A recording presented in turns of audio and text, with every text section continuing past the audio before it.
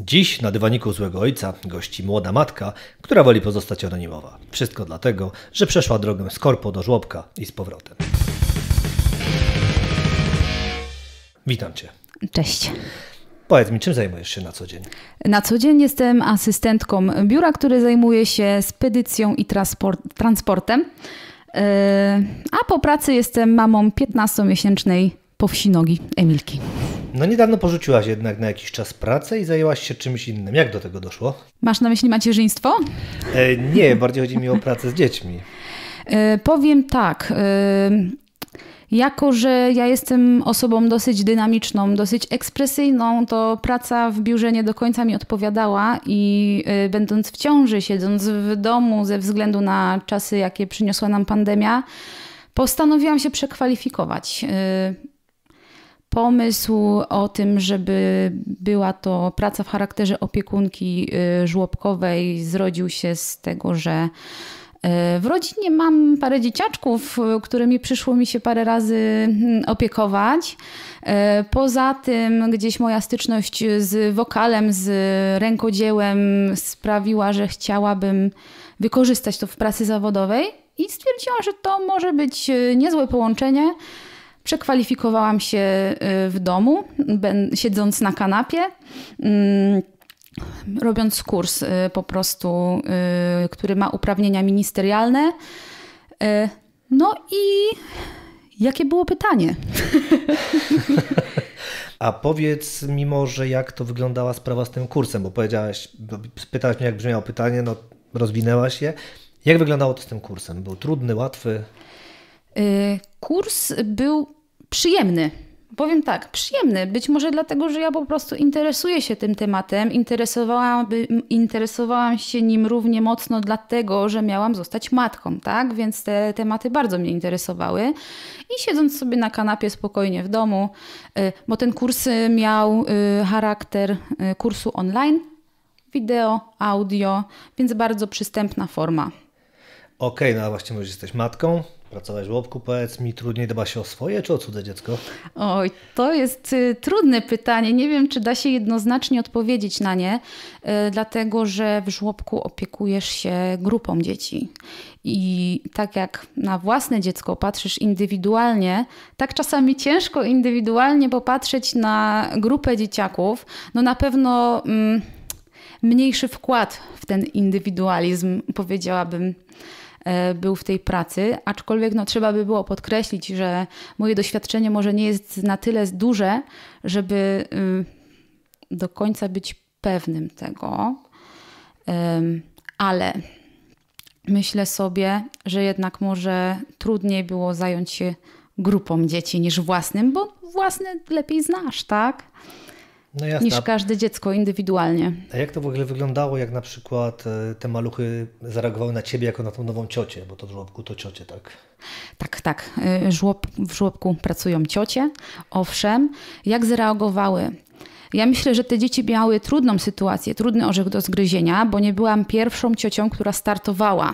O, dlaczego? E, no, dowiedziałam się po jakimś czasie, że była spora rotacja na tym stanowisku. E, pani, która przyjmowała mnie do pracy, y, uznała, że to jest y, grupa trudnych dzieci. Trudnych dzieci, ale to w jakim one były wieku, że trudne? Y, trudne dwulatki, połączenie. O, okay. Chyba coś wiesz na ten temat. E, natomiast po jakimś czasie, no mm, okazało się, że być może jest zgoła inaczej. Może do tego dojdziemy w naszej rozmowie dzisiejszej. Natomiast y, czy nowy, nową, jak zareagowały na nową ciocię? Wiesz co? Wydaje mi się, że to też jest kwestia podejścia do dzieci, nastawienia takiego w ogóle do życia, ale uśmiech, energia, ale wiesz. Się, wiesz, chodzi mi o to, czy to jest strach, jak te dzieci, bo z twojej perspektywy, hmm? bo no, chodzi mi o to, że rodzic zawsze jak widzi, że jest nowy opiekun, to mówi, kurczę, dziecko się musi przyzwyczaić, tak dorabia sobie do tego ideologię, ale jak to wygląda z twojej perspektywy? Te dzieci cię zobaczyły i automatycznie łapały z tobą kontakt, czy jednak, nie wiem, było jakieś testowanie, kim jest ta ciocia? Yy, to znaczy, no na pewno nie były rzucone na głęboką wodę, bo jak się pojawiły to jeszcze w gronie starych cioć, okay, żeby jakby móc wdrożyć te dzieci w nową sytuację. E, to jest jedna rzecz. Druga rzecz, no na pewno takim momentem, w którym pomyślałam sobie, nie jest źle, e, był moment, kiedy dzieci trzeba było utulać do snu. Tak? Co się wtedy działo? Poprosiły mnie, żeby złapać je za rękę, żeby je pogłaskać i, i ten moment, kiedy dziecko mruży oczy i zasypia właśnie dzięki twojej ingerencji jest takim świadectwem, że no może zaskarbiłaś sobie tą sympatię i, i to było fajne. No tutaj plusy, a powiedz mi, co było najtrudniejsze? Najtrudniejsze było opanowanie grupy dwulatków, y, które mm, no, trudno jest takiemu dziecku wytłumaczyć nie biegaj, bo nie biegaj przy drzwiach, bo wejdzie ciocia i cię uderzy. I takie dziecko, wiesz, testuje granice i Oczywiście. robi wbrew y, poleceniom właśnie i pomnóż to razy osiem. Jasne, ale no to powiedz mi w takim wypadku, co cię najbardziej zaskoczyło może? W takiej grupie dzieci, współpracy, co, na, co jest najbardziej zaskakujące? No bo sami jak jesteśmy, no to faktycznie rzadko ma się pod swoją opieką ośmioro dzieci. To co w tym momencie? Wiesz co, zaskoczyło, rozczarowało, nie wiem sama, ale że takie dziecko, albo ta grupa dzieci, albo akurat kilka dzieci indywidualnie z tej akurat grupy nie potrafiło y, bawić się zabawkami zgodnie z ich przeznaczeniem. Nie wiem, czy wiesz o czym mówię. Zamiast jeździć autkiem po ulicy, to rzucały. Na rzucały, biły się nimi albo biegały po prostu. Yy, ciężko było skupić uwagę na dłuższy moment.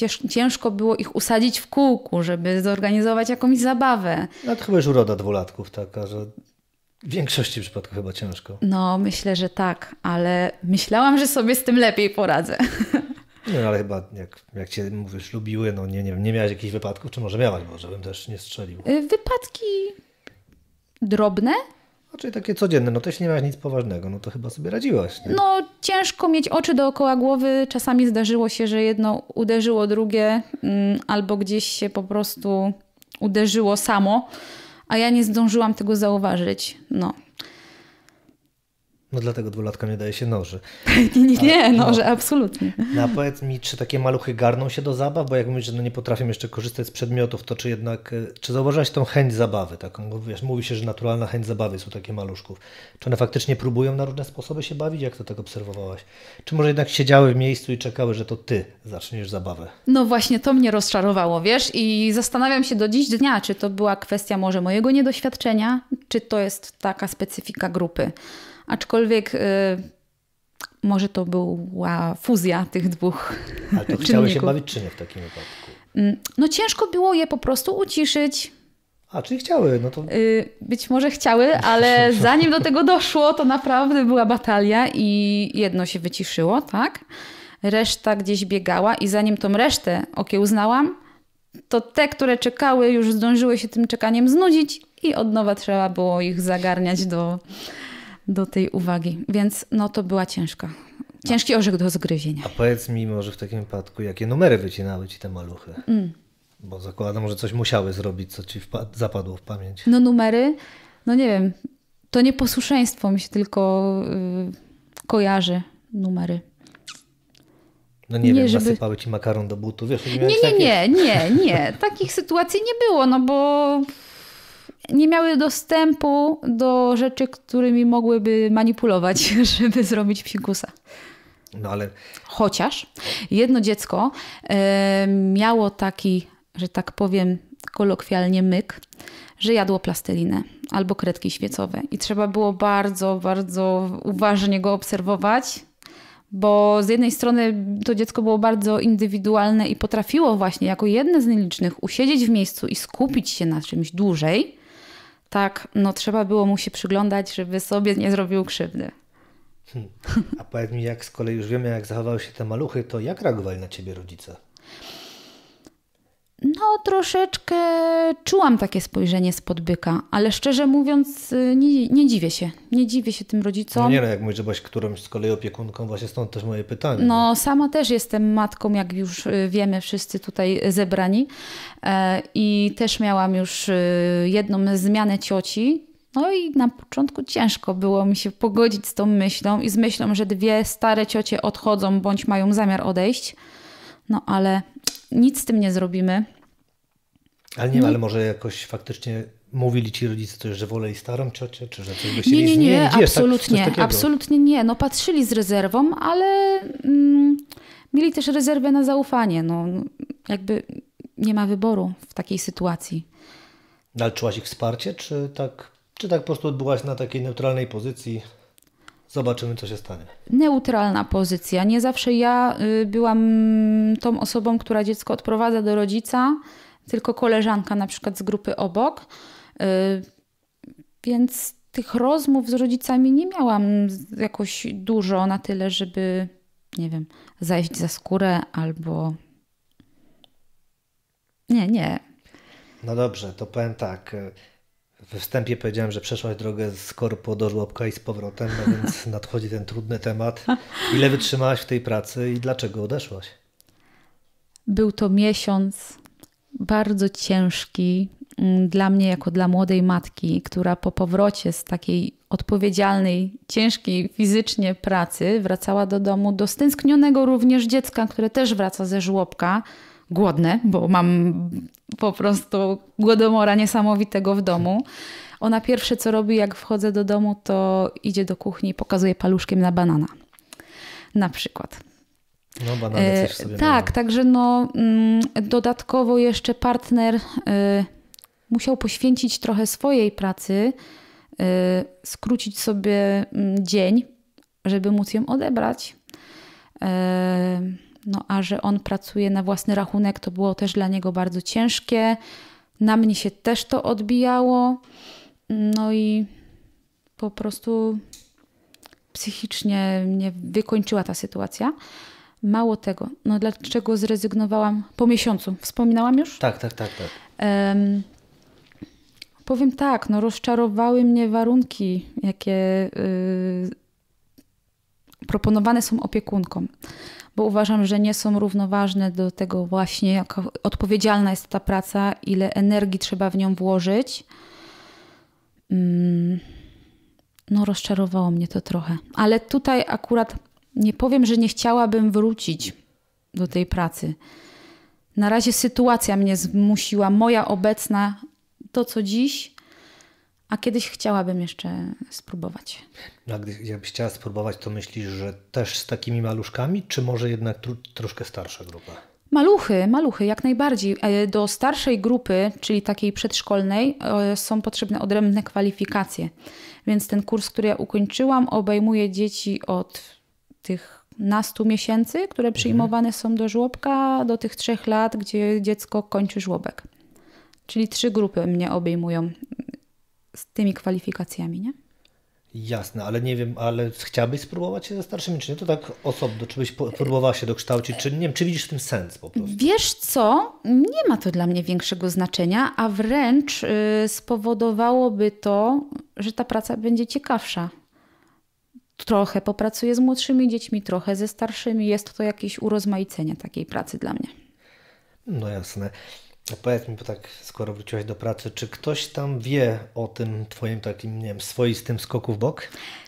Wiesz co? Nie. Nie wie, yy, ponieważ... Czyli stąd ta anonimowość. Yy, tak. Myślę, że tak. Yy, powiem Ci, że chciałam sprawdzić, jak to się potoczy, jak widzisz, jak słyszymy, nie potoczyło się. Y, wobec tego zostawiłam sobie furtkę bezpieczeństwa w postaci starej pracy i w razie gdyby mi się nie powiodło, wrócę do starej pracy. I tak się właśnie stało. Czyli ten miesiąc y, pracy odbyłam będąc na urlopie wypoczynkowym, żeby sobie móc ewentualnie wrócić na stare śmieci, jeżeli sytuacja się nie wyklaruje. A myślisz, że ktoś by źle na to zareagował, gdyby się w pracy o tym dowiedział? Nie wiem. Nie wiem, ale wolałam nie sprawdzać. Jasne. A powiedz mi w takim wypadku, skoro no, liznałaś tego żłobka, pracujesz w tej korporacji już dobrze rozumiem parę ładnych lat, bo jeszcze przed porodem kilka latek tam przepracowałaś. Tak, od 2017 roku. To powiedz mi, gdzie się łatwiej pracuje? Gdzie jest taki większy komfort psychiczny? To jest też y, ciężkie pytanie, bo łatwiej. Komfort psychiczny na pewno y, lepiej y, prezentował się w pracy w żłobku, ponieważ było to bardziej zbliżone do moich zainteresowań i mojego mm, temperamentu. A to ciekawe, bo myślałem, że tu będziesz mówiła, że większa odpowiedzialność, bo to jednak bezpieczeństwo, zdrowie Okej, dzieci. też. Natomiast y, moja obecna praca nie wymaga ode mnie zbyt wiele i to nie jest komfortowe. A, no. Rozumiesz? Y, siedzenie mm, na czterech literach przysłowiowych przez 8 godzin dziennie, gdzie czekasz na to, aż jakaś robota się pojawi. y, Nie, to, To- nie dla mnie. To może zaproponuj w swojej firmie, że tam będziesz żłobek im otworzysz. Hmm, To jest warte rozważenia, ponieważ no, y, pracuję z tak młodymi, jest, no. tak, no, pracuję z młodymi ludźmi, którzy no, po, powiększają swoje rodziny, więc kto wie, być może to nie jest głupi pomysł. Natomiast y, wiele pomysłów, jakiekolwiek by nie były, odchodzą w niepamięć tam niestety i kwestia właśnie y, takiego podejścia i atmosfery, która tam panuje, to jest kolejna rzecz, y, która mnie odwodziła od kontynuowania tej pracy. Mówisz o tej obecnej. Tak. Okej. A atmosfera właśnie między paniami w żłobku, między ciociami, jak to jest? Tak współpracowałyście ze sobą, wspierałyście się, czy, czy nie miałyście ze sobą styczności, no bo każda cały czas z, z maluchami siedziała? Mm, Akurat tam y, sytuacja była dość napięta, bo tak no, w związku z tym, że byłam kolejną osobą, to dziewczyny już miały też dość tej sytuacji i chciały mieć pewną tą właśnie sytuację, a no po raz kolejny nie wyszło i pewnie do dziś dnia się z tym zmagają. A masz właśnie kontakt jakiś, bo to niedawno skończyłaś tą przygodę, to wiesz, czy tam teraz ktoś już jest na twoje miejsce, czy, czy może jakieś zastępstwo tylko? Obserwuję sytuację i nie, jest, za ciekawie, nie jest za ciekawie. Koleżanka, z którą współpracowałam, poszła moją drogą. A, czyli jednak się uszczupliła załoga. Tak. No cóż, pozostaje mi życzyć tylko tego, żebyś założyła swój własny żłobek i A powiem ci, że o tym też być może kiedyś pomyślę, ale to są dalekosiężne plany. Na razie mm, proza życia niech się dzieje.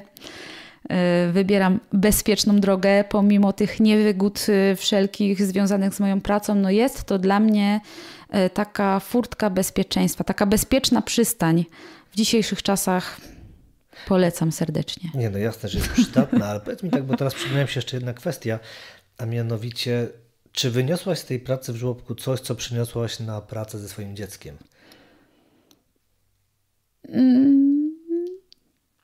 Czy wyniosłam? Wiesz, y, chyba jeszcze nie jest to dla niej czas na wykorzystywanie tych patentów, bo Aż ona spytać, jeszcze. Co to za patenty? Nie, tu chodzi, wiesz, o jakieś e, zabawy y, integracyjno-sensoryczne. Y, Na to jeszcze przyjdzie po prostu pora. Na razie y, moje dziecko interesuje się jedzeniem i książeczkami. No i widzisz, no z tego co mówisz, to nie można tego, bo kiedyś tak wspomniałaś, że no, traktujesz to jako tak delikatnie, że no, w, w kategoriach takiej delikatnej porażki, no przecież wyniosłaś coś, doświadczenie, wiedzę. Kurczę, może jeszcze widzisz, sama widzisz, zastosujesz to na dziecku, to jak to teraz tak oceniasz tak na chłodno po tym czasie? Wiesz co, ja zawsze doświadczenia, y, które mnie dotykają, jakie by nie były, złe, niedobre, staram się na to dobro przekuć. Czyli jednak coś dobrego z tego wyniosłam. I wcale nie jest powiedziane, że do tego nie wrócę, bo nie wiem, gdyby okazało się, że moje stanowisko będzie likwidowane z jakichś powodów, to zawsze mam tą furtkę bezpieczeństwa w postaci nowych kwalifikacji i czuję się bezpieczniej z tym. Super. No to gratuluję, bardzo Ci dziękuję za tę rozmowę i życzę Ci powodzenia. Dziękuję serdecznie.